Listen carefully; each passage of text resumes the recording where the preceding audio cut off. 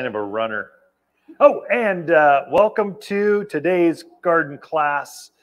Uh, today's class is fall color. Just what are some of the shrubs, mainly focus on shrubs and vines that bring out, what are you seeing in color right now? What's going into reds and oranges and yellows and that kind of stuff? We'll focus in on that.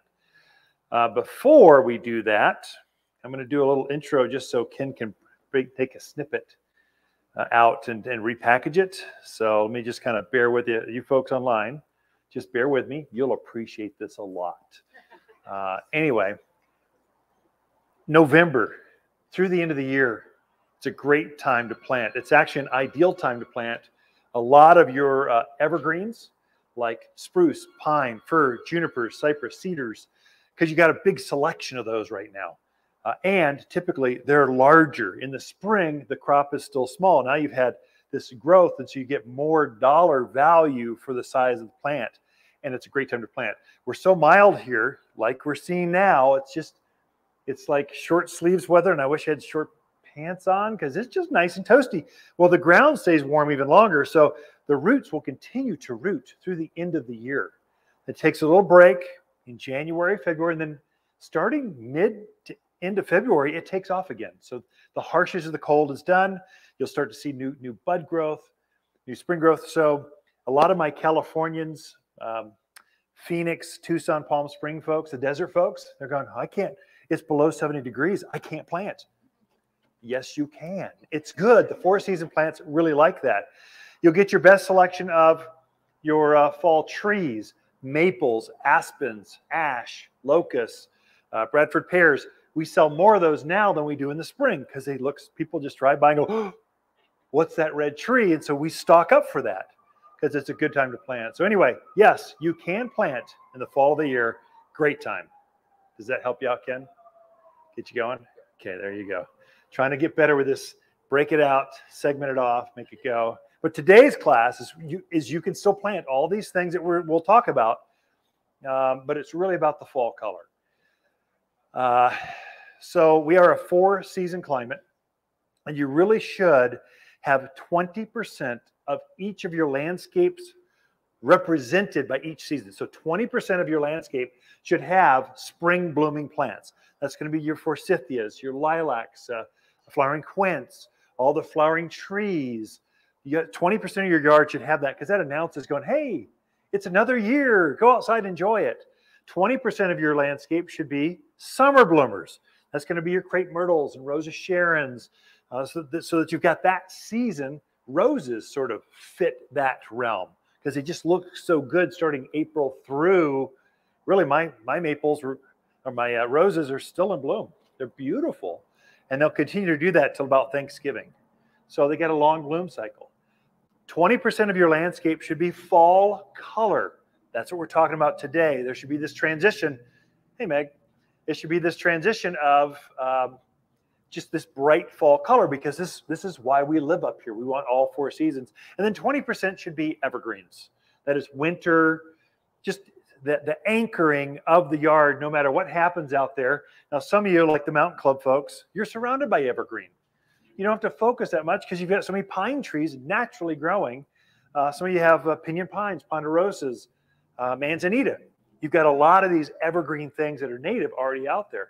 So maybe you can focus in on more of the, the other varieties. The last 20% uh, is just whatever tickles your fancy. Your gardeners, if you see something you like, you should have it. Just plant it. It's just it's just fudge factor. Hey there. So go ahead and plant that. Um, right now, we're seeing a transition. Uh, it's kind of really interesting what happens here in, in town, at least with gardeners. Uh, all of my Phoenix folks, they summer up here and winter down there, where they're packing things up and they're leaving right now. But all the Minnesota, Wisconsin, Alaska, the northern folks, this is their winter home. They're, that's our summer homes up there. So we see this migration pattern that happens, and different customers show up at different times. It's kind of fun to see the stories. So for those folks, if you're mainly here in the winter, focus in on fall and winter, early spring bloomers. If you're here mainly in the summer, focus in on the summer so you can adjust this stuff. There's no right or wrong formula, but generally, the biggest mistake I find is my, my California folks come in, I just want evergreens and I want them to bloom 24 7. well, that doesn't fit. That's not, that's a tropical plant. That's not up here. You need to plant more strategically so the plants feature, show off certain times of the year. So anyway, that's this is the 20% for the autumn fall color. Let's just start. I'm gonna show, I'm gonna show one that just came in this week and I, I could only secure 75 of them. It's all I could get. I wish I could get 175, but uh, I just can't. There's not enough crop. Maybe I'll take this thing down so this is kind of tall. This is a camellia. Now, you folks in California, I, I, I had a corporate stint that took me to California, Sacramento, Folsom, Roseville, that area. Um, and I grew a lot of tropical camellias. Most camellias will die out in the winter here. This one is called Ice Princess or Ice Queen or Ice Angel. There's ice. If it says ice in it, you're probably safer than just red camellia. Um, this one goes down to minus 20 degrees. It takes the, the harshest of cold and doesn't burn out. Whereas most your camellias, most that family, they're not gonna, they'll live through the summer, die in the winter. This one won't do that. And you're seeing it bud up really heavy. It's being tricked right now.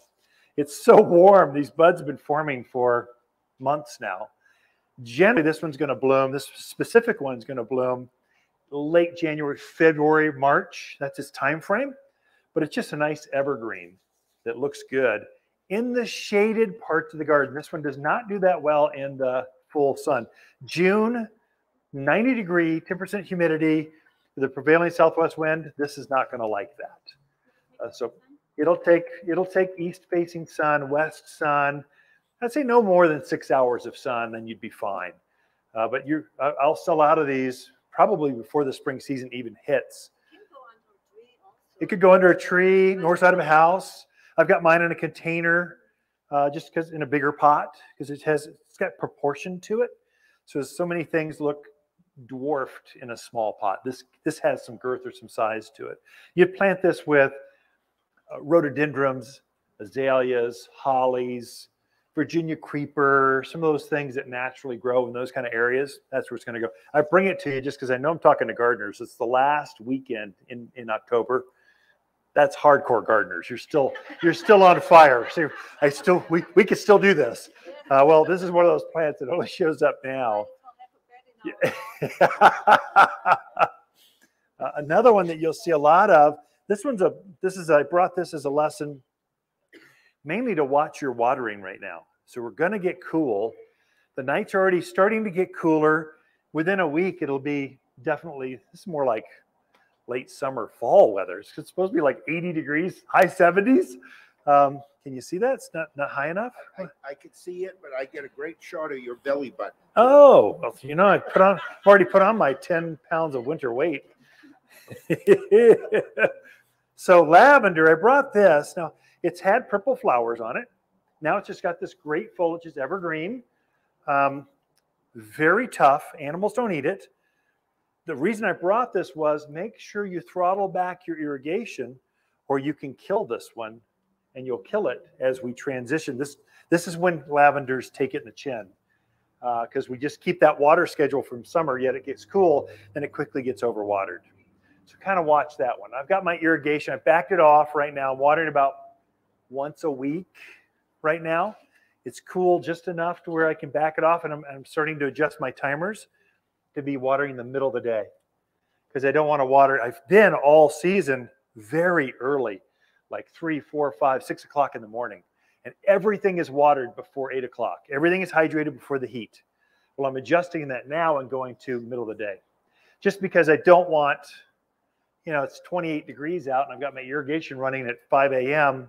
I got icicles coming out of the out of the emitters. That's not so good. So it's, it's hard on the system and it's not as healthy for the plants. Midday though, even in January, it's not freezing. Not not here. It's going to be 40, 50 degrees. Even in January, the nighttime is when it's going to get really bitterly cold. So kind of watch that one. Watch your manzanitas. Certain ones are really sensitive that way. Arizona cypress are real sensitive. Deodar cedars they're notorious for whining. If they get overwatered, they'll defoliate. They don't die, they just look horrible. The insides start to yellow. It's all because we didn't throttle back the irrigation quite fast enough. So maybe cut back one of those waterings. When you're watering, don't water the same amount every time. So the system is set to come on for, let's say, two hours for trees and shrubs. That's your cue, two hours. Now, all you're playing with is what is my frequency? How often should I do that? Don't ever play with the timing. Don't don't cut it back to an hour, hour and a half, or 30 minutes. Keep it. That's how much it takes to water the entire root zone. It takes two hours to get that water to push. Talking drip irrigation mainly, but however you're watering, water that same amount every time. All you're really playing with is how often should I do that? And right now I'm starting to throttle that back. I've been twice a week. Now I'm back to once a week. Just kind of letting you know. Okay. Yes. Okay.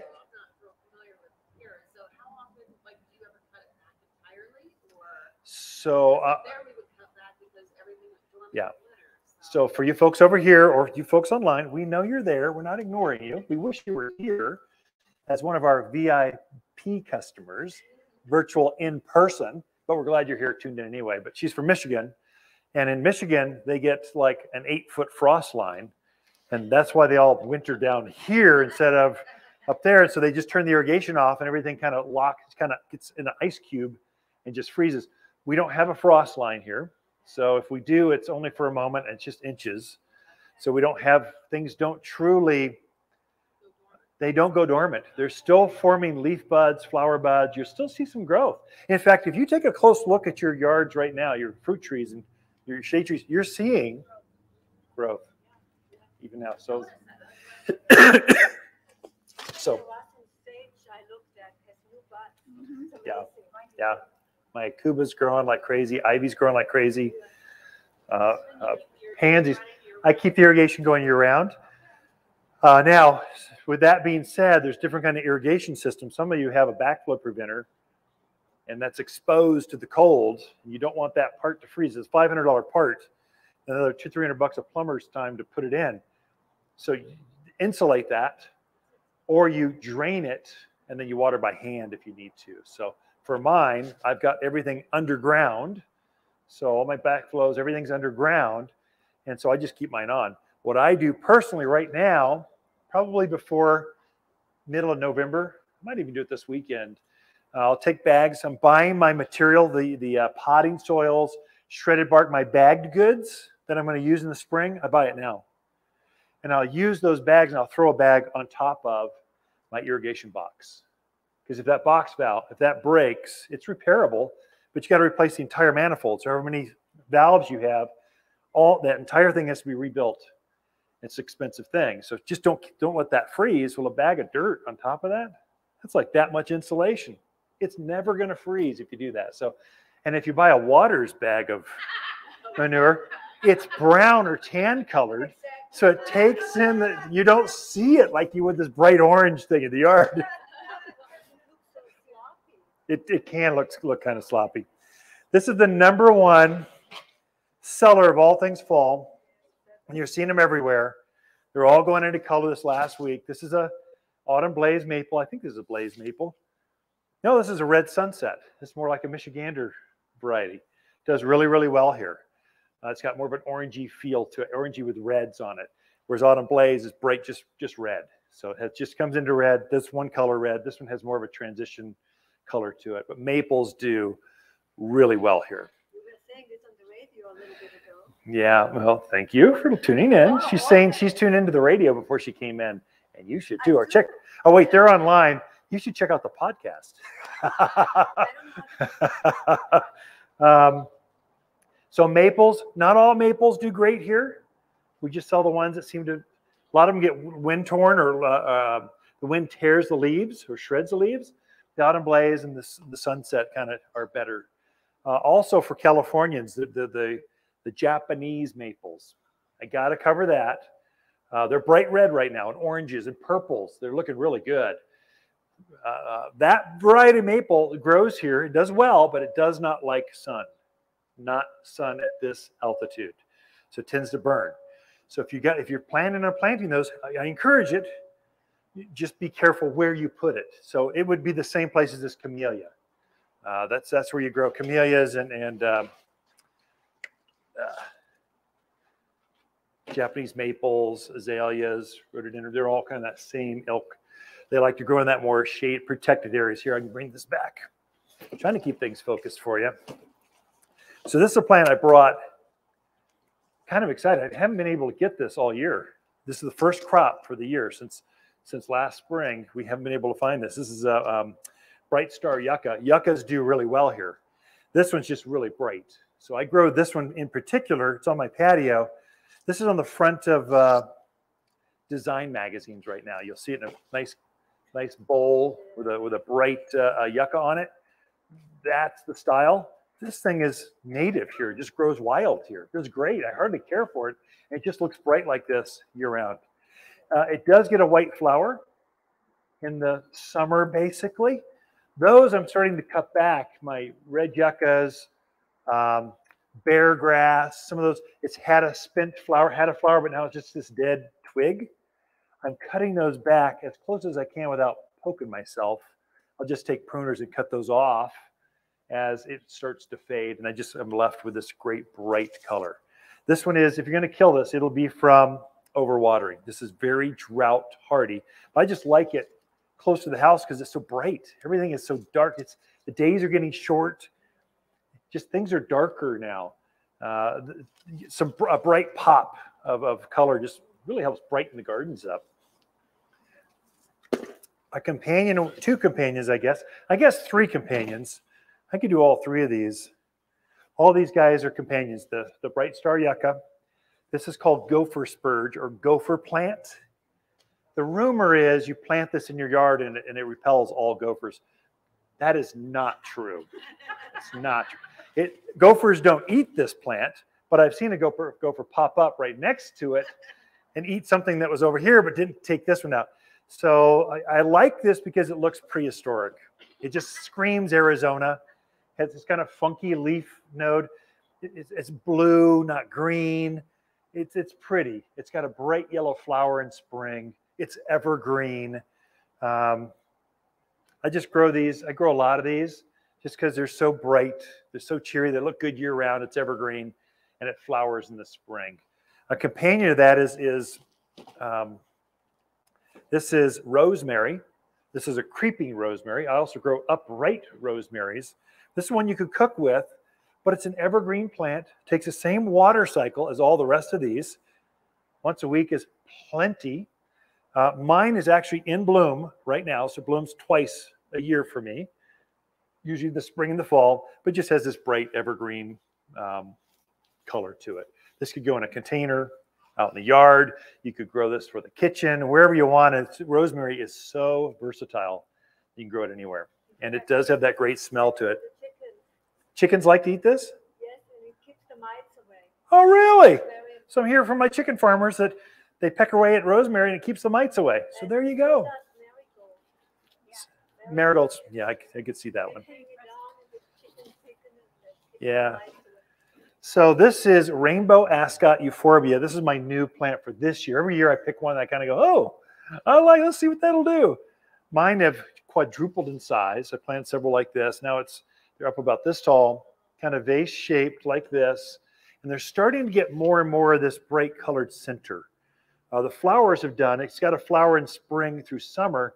I've cut those back, fertilized it just so I can get more of this foliage on it and then it brightens up as the days if they're in full sun they'll get this purple tinge over the top but an evergreen perennial comes back every year per- per- perennial and permanent we'll start with p so plant it once and done um, i just like it because it's evergreen I, also we've got a, rather awkward lot it's a view lot where you had to dig into the side of the hill to put your double story house in it so you get this really steep hill. So to get to the backyard from the from the driveway, you've got to go down a, quite a few steps. I use these beside the steps because they're so bright. Even at night, you can kind of they kind of glow under any amount of light. So I use them as you know, don't trip over. You know, here's the exit, go this way, kind of thing. I use that with lavender because it's got a bright color. Um, Santolina. I use several bright, light colored, strategically light colored plants uh, that look good at night. You're not throwing a lot of parties this time of year. But in July, August, September, you do. So I use some. I'm using my plants so they look good at night and during the day. Yeah.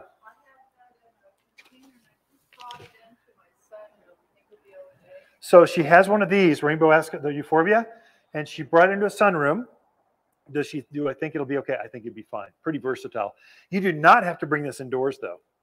This could be right outside by the front door and enjoyed every time you come and go. It, would- it would take that cold very nicely. Yeah. Um, you mentioned fertilizer. You threw some fertilizer, like when, what kind of? Sure. So fertilizing, maybe I should just cover that. I didn't, I've got a whole topic on just food, but I can mention it really quickly. Uh, I've fertilized everything in the yard already for my, for, the most important feeding of the entire year is going to be really October. When you see the fall colors show up, that's a cue, fertilize everything in the yard. It's because we don't get that ice that we do. We don't, we don't get an eight foot frost line. We have we fertilize in October because the plants are using that food to form this winter's leaf and flower buds. You'll actually see growth. I've gotten new growth on my rosemaries, aucubas, my, my evergreen plants, my fall colored plants. I'm seeing growth on them. Uh, so I'll fertilize with the all-purpose plant food. And for me, because it was such a hard year, my, I had a hard time. I lost a few things. Plants were stressed. I went from drought to too much water that's extreme for plants. They don't like going from super dry. I'll adapt to dry. Then all of a sudden it's wet and they're having to adapt to wet. It's different ways of growing uh, in, in those environments. So plants got stressed. You've seen quite a few dead, a lot of dead trees because they couldn't make that transition. There, I also put down at the same time humic, H U M I C, humic and all purpose food on, on everything in my yard. Humic actually encourages deeper roots. It feeds the soil, so the plants and the worms feeds the microorganisms in the in the soil. So plants want to root deeper, so I can recover from that root damage from drought or, or too wet. And then the, the food actually forms more foliage. It's setting the stage for next spring's growth. You can put them down at the same time. Yeah. I, especially important, I think, and this is kind of, I'm, I'm out there, way out there, I understand. But my name's Ken. We're just friends. We're talking over the backyard fence. This kind of works for me. Um, I fertilize my native trees. I fertilize my natives this time of year. I wouldn't overdo my natives, but the mo but doing your pinyon pines, your junipers, uh, ponderosas, do that in the fall. I only do it once in the fall, and I see much better growth next spring. They stay greener through winter, and I see better, healthier growth. And I don't have the bark beetle issues or ips, tips, tip borers. There's all kind of bugs, all kinds of bugs roaming around that eat evergreens, native evergreens. Well, it helps them keep keep their hardiness. So a little bit of effort goes a long ways with your natives, and I would encourage fertilizing that. You don't see that written about in books, but I've never lost a native tree, never had to cut one down because I just a little bit of care makes a big difference. Yeah. What's that? I would feed fruit trees now. Yeah. Yeah. I, well, I would do it. The fall is the most important for several things. Anything that blooms in the spring of the year, you need to fertilize. I can't emphasize that enough now because it's going to use that food to form critical for lilacs, critical for in anything real early spring, all the fruit trees, your berries, uh, grapes. I would say fertilize those and you'll get better growth. Next spring, we'll have this parade of people coming in going, my, my lilac bloomed so well for three years and now it hasn't bloomed for two years. What? Why? When's the last time you fertilized? Well, I put Miracle-Gro on it last fall. I'm going, oh, I'm dying here. I'm dying. Fertilize with a granular food. Um, and I think you ought to use a locally sourced, locally better, locally from Watters Garden Center uh, for fertilizer. Do I have a bag? Oh, I did have a bag. Yeah, yeah, this. Yeah, fertilize with this. That's what you do. Just sprinkle it on. Don't have to work it in. Just get it on. If you're really bored and you're a gardener, you can you're allowed to water it in or rake it in, whatever. I just chuck and go. I have my hand spreader and I just walk around. I just spread it as evenly as I can. Even on the rock. Yeah.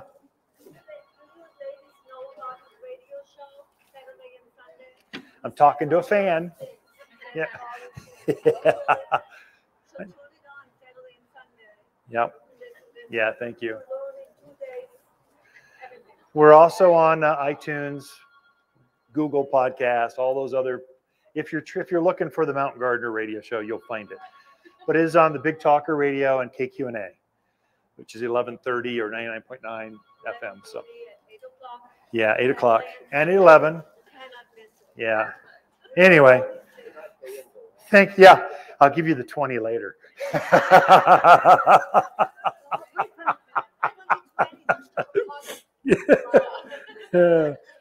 um, maiden grass. We grow a lot of grasses here because we've got a lot of prairie. Uh, um, grasses just do really well. Perennials do really well here, and then this is just a glorified perennial. I love grasses because they just they blow in the wind. They add a lot of drama, uh, uh, just motion to the yard. They're starting to get this fall color to it. So I brought this one, not just because it has pretty plumes, maiden grass. Um, but also when do you prune back grasses? Just a real quick, this is what I do. I'm going to leave this, I'll let it go to this straw color. So it's usually green like this. It'll go to complete straw. And eventually I'm going to take my lawnmower and just go or hedgers or pruners. I'll cut it back to about that far off the ground. I'm going to leave it like this because I think it's pretty, even in that straw color. It, it- the structure just looks really good in the garden. So I'll keep it looking like that. But eventually, in January, typically, we'll get a, a snow or two. It loads up and just it just falls over and looks terrible. That's my cue. Cut it off.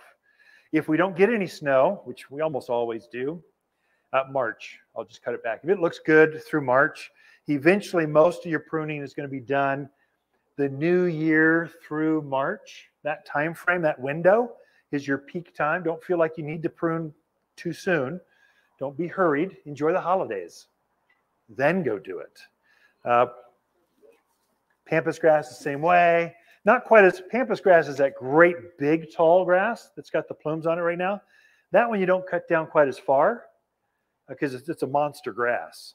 I'll cut it back to about knee high or so. Wherever those curly cues, you see this curly cue uh, under matting, I'll cut it back to there. All other grasses I cut back to within inches of the ground. So, uh, no, but they do have a lot of seed heads. So the seed heads, a lot of my grasses have already blown out. They've been in bloom for since I don't know, forever. The birds like it, butterflies love it. Yeah, yeah, all that stuff. So they're starting to lose some of their seed heads. Now I just have the structure left. I have this beautiful, um, do I have it up here? I don't have the one I have. I've got a, what is this one? Regal Mist Muhly Grass. It's got something like this. I have this big cobalt blue urn. It just has a little head on it. Great big pot with a little head on it. But I put a grass in there and just had this. It's just dramatic. Just, it's huge. It loves all the soil, but it looks good. It looks designer esque the way the grass comes out. So you can have fun with grasses. It's been in there for years. This is a native, grows wild quite a, quite a ways. It's one of the few red grasses. So the seed heads are, are bright red, especially when the sun's going through it. It's really pretty, but it's it's a easy to care for grass. This is this is mature. We're trying to bring in more, uh, yeah, mature grass. So many of them are little one four four inch gallon sizes, and it's three years before they look like this. So we're trying to. We've got a grower up in in uh, south of Oregon, just north of Salem, that's that grows really nice grasses. I think we've lined up that has really nice instant grasses. Deer will generally leave these alone. They don't like to fuss with the seed heads and stuff. So, but um, if you've got a lot of deer, maybe buy one as a test victim before you commit to a whole a whole you know driveway full of them. So they, they will be interested. So animals, when you plant something, they notice. You're planting it in their yard. I know that you think it's your yard. It's theirs. And they notice the second anything's new, and they, they're going to go check it out that evening and see if it's worthy or not. So, oh, they can eat some lilacs. Sometimes deer will eat lilacs. They don't, generally, they won't eat them to the ground, but they can nibble on them, especially the white ones. This is another one. This is a native. This is uh, called blue grama grass. Uh, grama, grama is a, this is called um, um, blonde ambition because the seed head normally on grama grass goes like this. It's more uh, horizontal. Very, very unusual, but it's the same native hardiness. Again, I planted one of these about this size last summer, whenever the rain started, and now it's it's glorious. And I'll keep it looking like this. It'll keep that seed head. It'll keep the form until about January. The snows will come and kind of lay down, kind of look sorry. That's my cue to take the hedgers or something, just trim it back then. If it, it doesn't care when you trim it back, because you can't kill these. And probably next spring, I'll cut it off of all irrigation. I'll just let it go by itself because it's a true native, true, true native. It's just pretty, just does this all the time. Just looks good. Grama grass, calendula, pansies. Brought a couple things here just for the flower gardens as well. So I planted a whole bunch of these, oh, maybe three weeks ago. Uh, that's, a, that's a winter hardy pansy, violas, Johnny jump ups. These are all kind of the same. It's a winter blooming plant. You don't do that in Michigan. It doesn't bloom in January. You just you plant them in the fall to have them die out by Christmas. Here they'll keep their color right through winter. Same with calendula. This is uh, a nice little evergreen annual, and I like purples and golds. They just kind of go together. They they just kind of they just go together. These you can plant. I don't think animals eat this. I know the deer will eat. Javelina will eat this. So so put them out where you, you can protect them in a pot, hanging baskets, on a back deck, patio, someplace fenced. Um, and then this is trailing vinca. It's a ground cover perennial. So it just this is tall as it gets, and it just spreads like this. Has blue flowers on it, but they kind of go together. You put a container like that together. I'm pretty sure animals don't eat this. So you'll see big beds of this right where javelina and deer are. They seem to, and it still grows. Or if they do eat it, it grows so fast that it'd be good to have them eat a little bit more of it. So it just kind of it recovers very quickly. So pansies, again, there's lots of colors. Uh, right now you're seeing that your summer plants are looking pretty rough. So vinca is looking really bad. It's still alive, but it's just not looking good. Uh, potato vines, a big long growing vine, looking really bad. Uh, just commit to just dig them out. They're going to die the first hard freeze, which is probably in like a week. Start putting some of your winter stuff in. You can do winter vegetables, kales, lettuce, cauliflower, broccoli, all the things you're harvesting, the foliage or the flower heads. You can plant those are winter crops. Um, same with pansies, violas, calendula, uh, snapdragons. They're best planted in the fall and they'll bloom through the winters. So we have thrill three, two, three distinct seasons here. So spring obviously is the number one. That's when all the customers are in. That's when people make a mistake with these. They'll come in because they look so good. They've been blooming so well.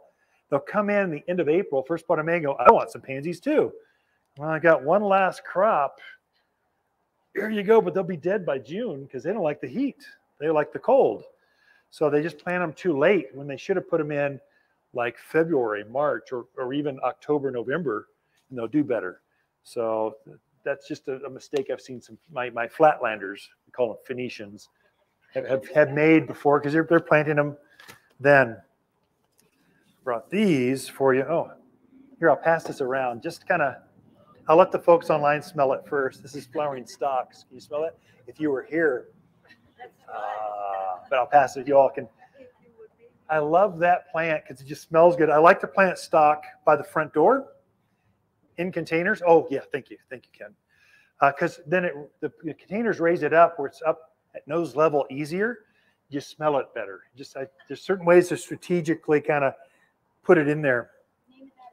Stock. Stock, S-T-O like stock market. Stock, yeah. It should have a better name, but they don't. So I've got two handouts and I forgot to email these to you, but they're on the website. You kind of maybe give the link to the folks online. Yeah. So dividing perennials, because it's time to divide perennials. I've got a garden column coming out next week. That's the 34 perennials to divide now or do, do stuff with. So I'll pass that out to you. You can take one on that side. Let me give one to Ken here. So we'll put a link to this for you all. Sorry, you're looking at my belly button. We'll put a link to this for you all too. So look for that shortly. So there you go. Then another one. This is the High Country top 10 high country plants. Make sure I get enough for both sides. I printed 15, so I think we got enough for everyone. So the top 10 plants sort of relates more for our class. And then we are putting together our 2022 garden classes. So again, January, the typically start January. Well, that's just next year's spring planting season is kind of like just a couple months away. So we're starting to feel the pressure. Yeah, you can just put it right there on the table, chair, whatever. That's good. Um, if you've got suggestions, email me. Let me know. I'm going to send you a link or an email. Um, no, I won't. How will I do this? Let me think. I'll send you the class schedule uh, for 22, probably in a month, because you're going to have to line this thing up so you've got time to promote it. it starts January. So what? That's just two months away. So I got to have things kind of in the can. But if you have an idea, we are all we're all ears. You are our target, hardcore target market right here, and we want to cater to, to local gardeners. That's kind of our thing. So you've got ideas. But if you want to get a copy of the next spring's spring for us starts in, in January. Garden class, give me your email address. I'll make sure you get a, a, a probably just a quick link on here's the classes or whatever. So probably from the website or something. Uh, we've got one more next week. It's on uh, evergreens, the fall shrubs, basically, evergreens of winter. And then that'll be our last one. June or, or November 6th is our last class. So it'll be that's next Saturday. Okay, good. Yeah, thank you. This one is famous in the fall. This is called autumn sage because it looks so good in the autumn. Uh, it looks good starting in, in typically April. It'll start to bloom and then it blooms through summer. Hummingbirds just are all over this. They use this as a food source as they migrate. So you'll see different kinds of birds, like the hummingbirds that are probably camped out all summer in your yard. They're starting to go south, Phoenix or wherever they go. And then all the northern folks, they're starting to migrate through your yard. You're seeing different birds show up all of a sudden. Well, they're going to use this as a, as a way to juice them to get as a food source to get through to next uh, to the, wherever they migrate to. There you go. They do like the red. Yeah, thank you. They'll actually like this comes in in purple, kind of a tangerine color, white, reds, pinks. They seem to like them all. They like the flavor. They're, they're attracted to the tubular shape. This gets up about, mine are very mature, about this tall. Um, a secret, I, the reason I brought this, it looks good, but watch when you prune this. This one does not like to be pruned early. I wait to prune my uh, autumn sage specifically in, in March. I want that foliage cover on top of the main core uh, heart of, the, of this plant to protect it, to insulate it. So if we get a really harsh winter, which we're not predicting, but never believe the weatherman, but I have had trouble where I cut it back too soon. Then we went down to you know single digits, and it burned out the heart of the plant. It damaged the plants. Whereas when I leave them full, they don't seem to be damaged. So just kind of school of hard knocks, kind of sharing with you. Yeah. No yellows right now. No, kind of an orangey, kind of apricot color, but not true bright yellow. We're trying to introduce new colors. I don't think so. Oh, how far back do you cut this? I'll basically shape it. It can get kind of a mangy wild look. I've got mine as a formal planting out by the street. I'm using it as layers. So I've got this with Russian sage behind it and big blocking junipers behind that uh, to, to screen off the front patio. I mean, I don't mind you. I want you to look at something pretty as you're uh, walking by the front of our house. I don't want you to see me reading the paper in my pajamas. So I kind of want I give give you something else to look at. Um, so there, I kind of trim it and get just make it more ball shaped. So I'll also take out. I'm strategic with how I prune this one back. Same with Russian sage. Some of the uh, uh, main stems can get rather woody. So I find the best flowers on the vibrant new growth. the bright green growth. And so I'll go back and strategically cut off some of the bigger stems right back down to the ground, just so I get the plant has to regrow brand new branches so I get better color. Just But does it flower on both the old and the new? it does both, but not as well on the old growth as it does the new growth. It grows better, kind of like a rose. A rose grows better on the new growth. That's where you get the best. That's the one you enter it into the fair. You want a brand new, vibrant green rose stem. Same with this. And if you don't cut that back, you just doesn't start getting kind of dinky. Yeah, it just gets gets wild. If it's an informal garden, that's that's a that's actually a good look for here. So That's how I am. yeah, and it works. Nothing except that much. It gets Yeah. bigger and bigger and Yep. It's the one thing that we're having. eaten, so- Yeah, they don't like anything with sage. Anything with yeah, deer don't like herbs at all. So yeah, yeah. Prune roses. So when do you prune roses? So we'll have a class in the spring for that. Uh, it's typically in March. March is when you prune roses for the same exact reason. We don't do all that fancy Midwest stuff. Put a put a cage around it, put leaves and backfill and insulate it. We don't do any of that. We just let winter beat it up. And we keep the foliage up over it to ensure that it protects the heart or where the canes, where that graft is and the variety. And then in March, we're past our cold. It still snows, it's still frosty, but that bitter, burn things back to the ground cold, that's over. Then we'll prune it back sometime in March. So this year I didn't get to mine until April. I just pruned it back and it was fine. So I'll prune them way back to three to five stems to classic, my hybrid teas at least. Um, so it just depends on the model. Um. I was going to use this one just to make sure because I've got my students, my hardcore fans. It's going to make sure you all specifically got the 2022 garden class list. So if in doubt, put it on. If not, you'll you'll we'll find you. You'll know about it. You're listening to the radio program. We try to promote it there. What happens is I'll stop promoting it externally because the classes get so big that we can't handle the parking lot, can't handle all the traffic. And so it starts to, to affect our sales because no one can get in here. They're all sitting down, you know, butts and seats basically teaching. So I'll throttle back the marketing and I'll just give it to you all. I just let our core, core, core customers know. And the mass humanity, I don't, I don't let them know about it. So it's kind of, it's a strategic thing. It's mainly the tomato. Well, I wish I had another 60 parking spaces, but I don't. Yeah, bec- because it was getting too too much.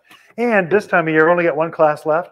I get tired of teaching classes sometimes. It's just kind of I've every week for since since January. The team want give them a break and kind of.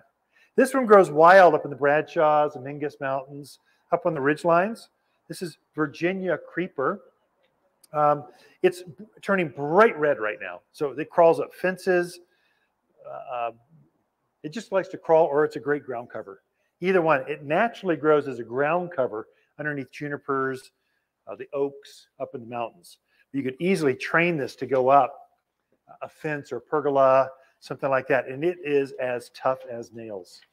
Um, it is deciduous, that is, it, it will lose its leaves. Most things that turn color like this, not all, we'll show you a couple, um, actually will lose its leaves, uh, but it's just got nothing brighter than Virginia creeper. And truly, a, a truly native animals don't eat this. Javelina, deer. No, it goes full sun to full shade. It'll grow anywhere you want it to. Yep. It's a very versatile plant. But you can't mention fall colored plants without mentioning Virginia creeper. Put that back on there.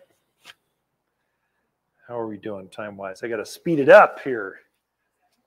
Mums, garden mums. Now here's the here's the thing about mums. Um, this one we just put three colors. We're putting three matching colors. We get bored too. So you're going, what can we do this year? Let's do three colors. So usually you see them in solids. Um, you've got garden mums, and then you have greenhouse grown mums. So you got Trader Joe mums, Costco mums. Those are grown in greenhouses, and they're not hardy. They don't. They won't transition in the yard. They're made to be used for a month or two inside the house. When they look bad, you throw them away. They're probably not worth even planting. All of ours are grown outdoors. So they're made to, you can bring it indoors, but then you can go out and plant it afterwards too. These are true perennial mums. So anyway, most folks don't know that.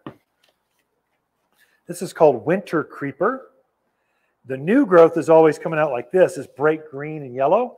But then in the fall and winter, it has this purpley gray tinge. It gets about this tall and then just spreads like this. Uses ground covers. So it's a great evergreen shrub that has, it's evergreen, but it has this great fall color to it. Nandina is very much like that. This, this guy here, this is an evergreen plant, but it actually, if it's in more sun, gets this bright red to it. If it's in more of the shade, it'll stay kind of a green color. But the more sun, most of these are, are bright sun locations, and it just turns this bright fiery red. At least the top of it does. So it's evergreen, but it has this great transition. You got every season kind of colored, uh, covered. Deer don't eat this. Javelina don't bother it. I don't know why. It looks delicious. I want some ranch dressing. Interesting. Just kind of try it. But it's got a real milky. Uh, it's got a sap to it that I'm sure has a, has an off flavor or makes your stomach sick or whatever. They don't like it. That's called Nandina or heavenly bamboo is what the Californians call it. Uh, most of the rest of the country calls it Nandina. This is another native. This is Oregon grape. This one you will see growing again. Next, these two kind of grow beside each other. You'll see them in the same kind of native areas. It's surprising. You just run across it going, oh, this is creeping Mahonia. It comes in three sizes. Creeping, this is very tall, and it just spreads like this. Uh, and then you've got um, compact uh, Oregon grape, gets about knee high, and then you've got standard Oregon grape that gets about chest high. So you got three heights. You got to pick the one that works. They all have this holly-shaped leaf. Um, they all get yellow flowers in the spring. They all get a blueberry to it, which are very edible. You'll never get any because the birds just think they've died and gone to heaven. They love the berries on this. This I've grown this plant. I tried growing so many plants underneath this majestic uh, um, juniper in the backyard. I mean, it's so beautiful, so ancient. It's got character to it. So I've trimmed it up. I've got art underneath it. I've downlit it, uplit it. It's it's spectacular. But I couldn't grow anything underneath the juniper because it's always littering. The way a juniper defends itself is it it buries everything underneath it and kills it. It actually has arsenic in the soil in the in the it taints the soil so nothing can grow there. And so it's a defense to say all this my this is my space. Don't try to take any food or water from me. This is mine. Well, this grows really nicely, really beautifully underneath that. It doesn't get killed off. So I planted three of these, I don't know, like 10 years ago, and now it's this big around. It's the whole under under planting is just beautiful. So Oregon grapes, very hardy. Again, I would plant that and I would cut it off of all care after year's worth of root growth. It's evergreen, yeah, native. So I, I, do a lot of these too. In fact, these look good together. This is, they just look, they look good and they grow the same size. This looks good together. They grow the same size, same water pattern, same sun, same, they're all companion plants. So this is a um, gold, this is an old gold juniper. I like these. I like, I plant these down below my deck because I like looking down on them. Uh, so I've got real dark gardens I don't use like crushed granite. I've got dark, mulchy ground gardens. And so I see a bright spot like that. It's just really distinctive. I've got a pond that's back there. Ponds are typically deep and mysterious. And to put something bright next to it just makes everything, gives it more dimension to it. And so now it's, this thing's again, probably six, seven foot around. And I hardly care for it. I don't even know if it's being watered anymore. Probably not. Junipers just grow great um, and it does not throw pollen off. So it's not an allergy thing. So males and females. Females are not the problem. The men are. The, the male junipers are the pollen one. I know. the, uh, the male junipers are the ones that put all the pollen off. So then he wants to pollinate. We're talking this half of the mountain. So one one male can populate, can can fertilize a dozen or more females. So the females put on the berries, the males don't. Kind of like a rooster. Yeah, sort of, sort of like that. Anyway, we, we bred just females. so you don't have all the pollen issues. So, okay. Yeah, correct. Yeah, many of these uh, native stuff like this, you could, I purposely put an irrigation system to this. But then in a year, I'll, I'll, root out, I mean, the roots are all right here. I got to grow the roots out. Once I do that, I'll, I'll bend back that irrigation. It won't get, it won't get watered again. Um, so I kind of keep it on irrigation until it gets to the size that I want, either height or thickness or fullness or spread, and then I cut it off. So this is uh, spruce. This is a globe spruce or bird's nest spruce. Yeah, globe spruce. Just gets a great big round globe that's related to Colorado spruce, which they grow native here up in the hillsides. Again, you'll see uh, color fir and Colorado spruce growing wild. So they adapt really well for here. Well, it's just most Colorado spruce are monsters. I mean, they're 80 foot tall and 25 foot wide, and they're too big. This is cute, but the same kind of foliage to it. So anyway, use these in containers, up those uh, um, raised beds going to the front door, flower beds as an anchor. There's different ways to, on the on the back patio, something where you want something distinctive. This is a good one. Almost there. Bear with me. I think we got one, two, two or three left. These three are companion plants. This is barberry. So barberry comes in a lot of colors: orange, yellow, burgundies, greens, and they're all deciduous. They'll lose their leaves, but they, you can see this one starting, and they got thorns on them, so you got to be careful. But uh, you're starting to see the red. It's turning this bright, bright red color to it. I'll help you folks online. There you go. See the bright red starting to show up. So they'll typically turn oranges and reds, your barberries. And then again, they, they look, they've got distinctive structure, even without their foliage. They're very interesting plants kind of like a burning bush. You're seeing a, a bright red bush about this tall. Um, even without the foliage, it's got this interesting bark to it. This quite distinctive. Um, barberries are the same way. This is an evergreen here. This is Indian hawthorn. Hawthorns are evergreen, tough, sun loving. Take a blow dryer to it and then kick dirt at it, and it's still going to grow well. Uh, and then it's got a pink flower, very fragrant pink flower in the in the spring of the year. As we get further into fall, it'll take on kind of a purple hue to it. It's a very bright, kind of like a, a Nandina or heavenly bamboo. Not that bright, it's kind of a purple, a darker color to it. Very interesting. Um, anyway, good good plant for here. Gets up maybe maybe that big, something like that. I grow mine on in two big pots on either side of the driveway, the garage because they can get big enough and they're evergreen. They look good year round, and it gives me some proportion. Yet I'm underneath the lights that are attached to the to the garage. You kind of want something big, but not too big, or it looks out of place. This one would grow there too, but it gets way too big. This is um, Victorian. Is that the Victorian one? Yeah, Victory pyracantha. Evergreen. This is the one as kids used to pick off the berries and chuck them at each other birds can come in and eat them and they'll, they'll get kind of fermented. Birds will be drunk, kind of just going, oh, the party. We're coming back tomorrow and do this again. Uh, that's kind of what this this is a great bird bird attractors. It's a pyracantha, but it's a big one. It gets um, 10, 12 feet tall by wide. You can, you can put them right up against a wall, or you can let them just sprawl out. Either way, they're pretty versatile we really need to figure out a way to re-inch. It's an old-fashioned plant, but so tough here in the, at this elevation. It tastes like the perfect growing environment for them. Big white flowers in the spring, and then it puts on the berries. It's evergreen. It's fast growing. It just make sure you got gloves on whenever you touch this thing, because it's also called the nickname is firethorn. It's got little thorns on it that kind of, but good leather gloves kind of keeps it from, from, or a good gardener, they know what to do. So pyracantha is a good one for here. Okay. Now end with this one. Oh, maybe. I don't know. We got time. Of course, it was just watered. You want to swing the camera? Okay, perfect. There you go. Yeah. So, uh, Colorado spruce, all the spruce. So, we're stocking up right now with lots of spruce. That's why it's such a good time, not just to plant, but to the selection is broader than you would find in the spring. In the spring, we're dedicating most of the garden center to things that bloom. So I'll have 200 lilacs. I don't have enough space for these. But now I don't have any lilacs. I don't even have one.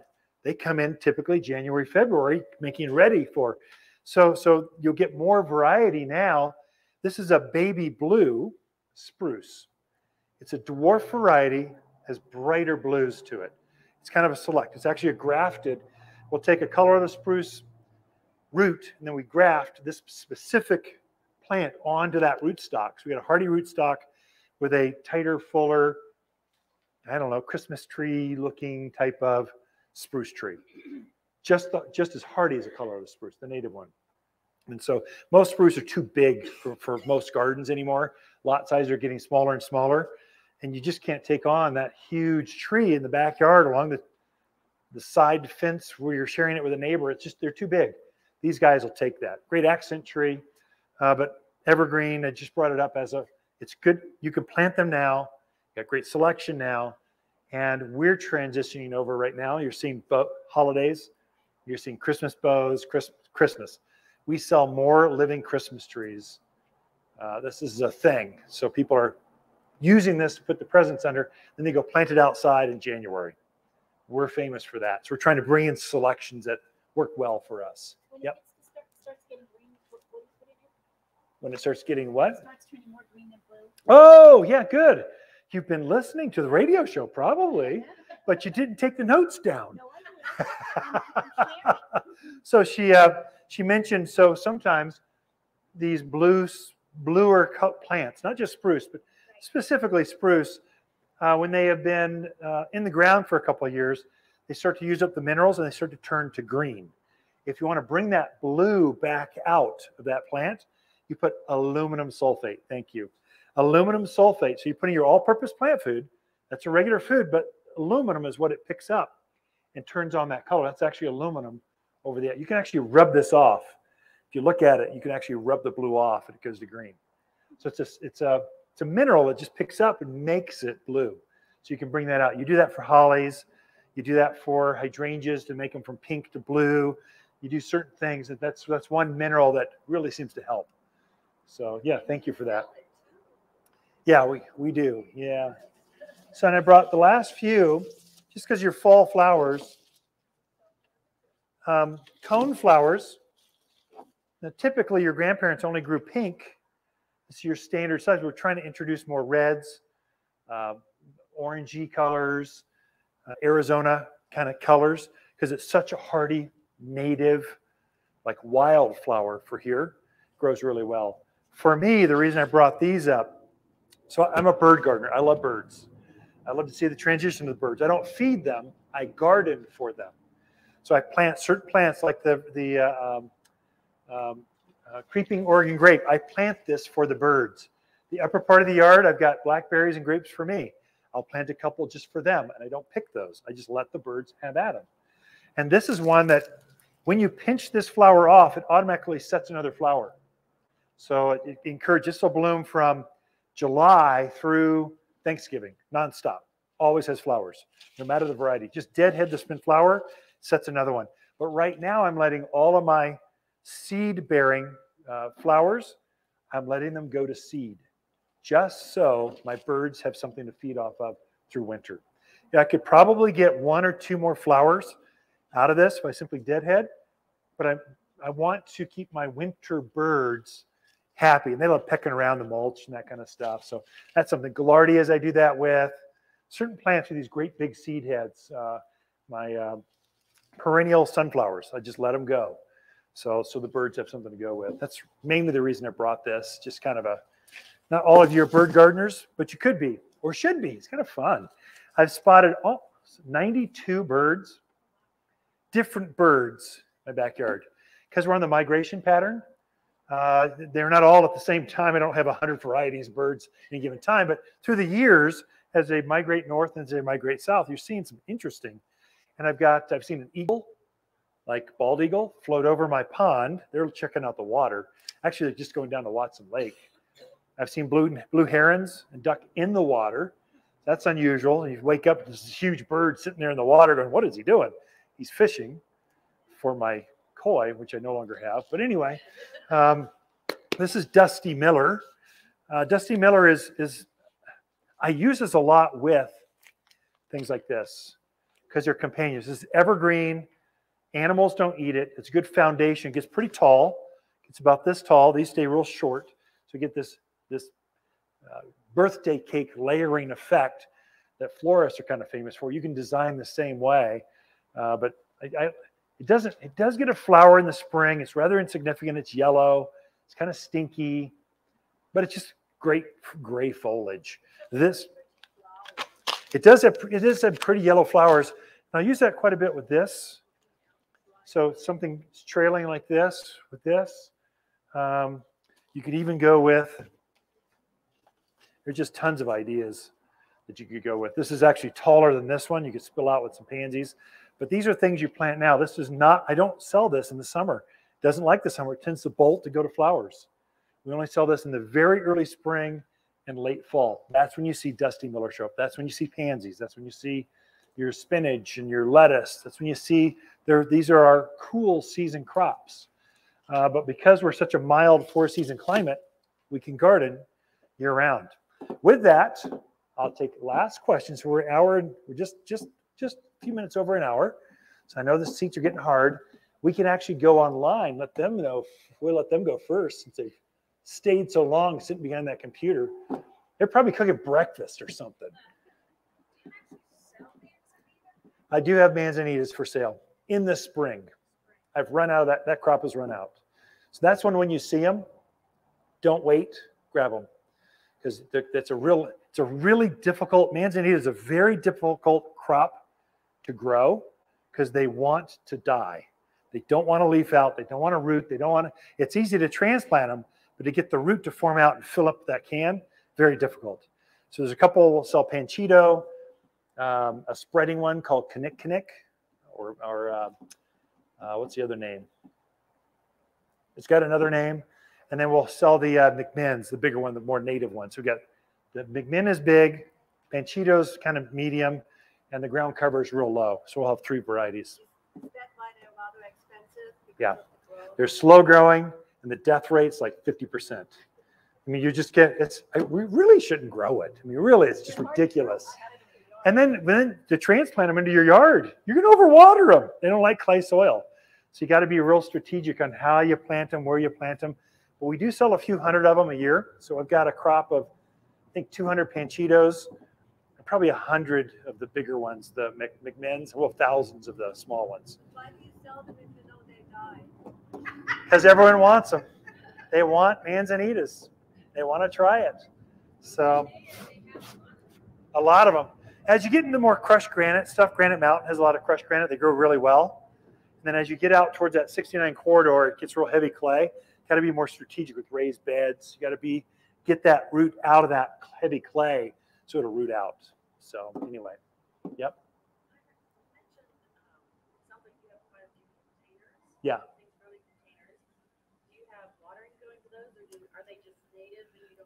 No, no. I so good question. So we have so we have a lot of containers. Yes, we've got I think 53 of them right now. So we always we just we we we have a lot of them, but we have a lot of patios, a lot of we have big gardens, half acre, and it's all. You'd think maybe we own a garden center. We do, and we get a lot of freebies that we experiment with, and we're dealing with style. Containers are that's a style thing. Some of them are beautiful, and so they're pieces of art almost. So what I do is the the the landscapes are basically natives, very low care, uh, and they have to look good all the time. We can throw a party next weekend, and it better be on stage right now. But I'm a gardener, so I need a place to touch plants and play with plants. Those are my containers. I've got a couple raised beds that I do that with too, maybe two, and a lot of pots, and they're big pots, not not little tiny. These are probably minimum size as this to, to trees. And so we do a lot of gardening where I love sipping coffee in the morning and deadheading flowers. That's therapy for me. I love that. And I don't want to bend over to do it. Well, a pot is just perfect for that.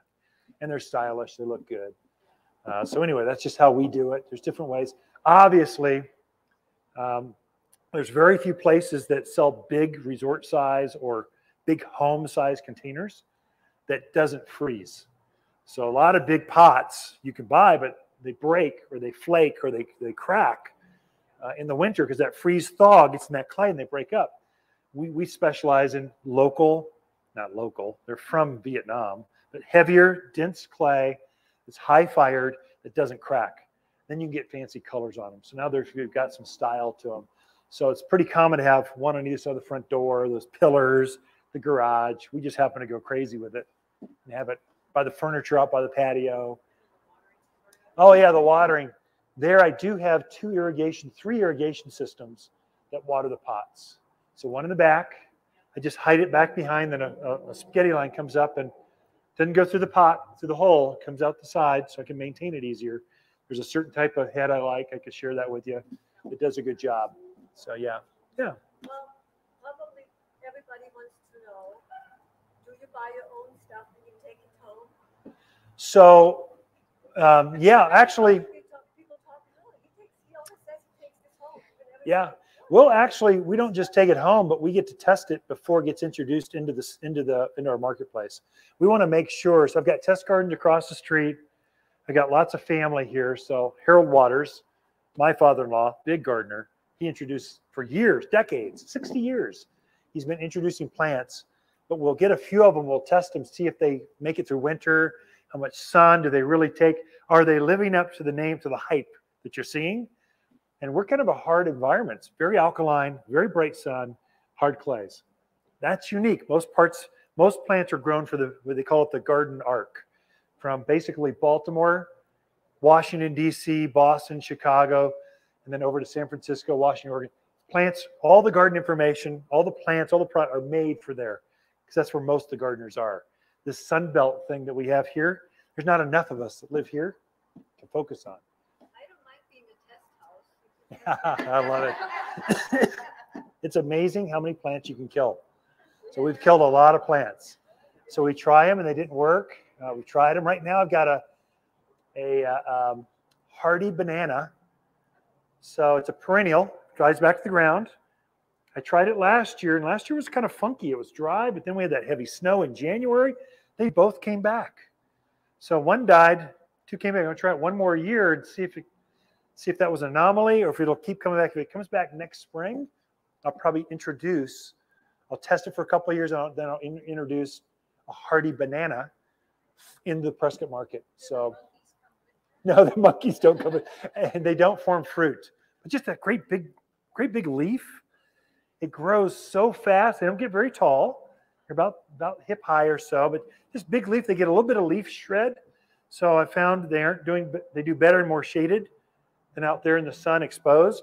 So there's certain spot. By the time I get done dealing with that, I'll be able to recommend this is where you want to grow that. Here's where you don't want to grow that for success. And that's kind of what that's why you're coming here. You're for success. You're not buying plants. You're buying garden experiences from Watters Garden Center. We want to make sure we live up to that. So that's part of that process. So now, now I'm preaching to my. That's it's almost like a staff meeting or something. So sorry, I went too far. With that, I'll let you go. So this is uh, we got one class next week.